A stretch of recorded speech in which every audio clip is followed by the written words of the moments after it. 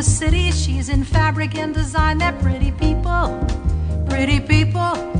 They've a house right on the river with a cellar full of wine. Such pretty people, pretty people.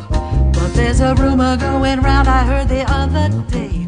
Well, you know those wagging tongues, but I believe they say those pretty, pretty people, pretty people, they don't really like each other pretty much at all.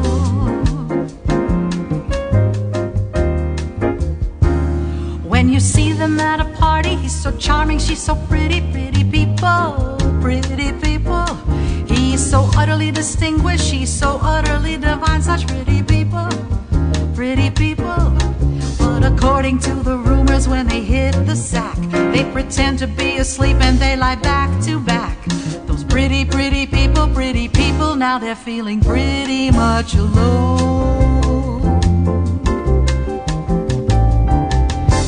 She shared his dreams, and he shared her laughter. Ages ago, who can say just when the laughter ended, and now they're strangers.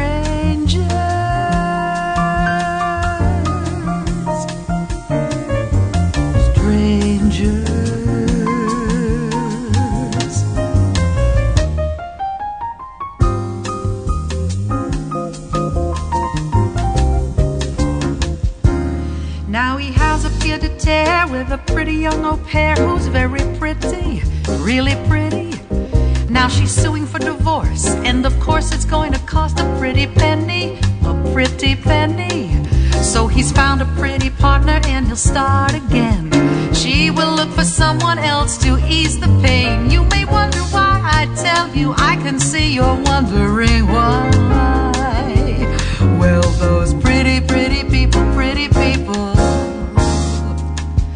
are pretty much like you.